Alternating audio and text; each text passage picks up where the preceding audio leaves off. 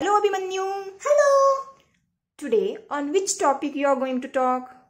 About none, why none of the flags are purple. A little long ago, to make purple, we needed a tiny sea snail that we can find in a small region of Lebanon. And to just make one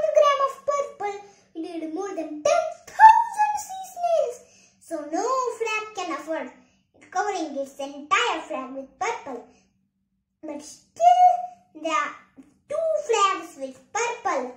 Nicaragua's rainbow and, Dom- and Dominica's bird that is uh, in a half part is purple. Okay.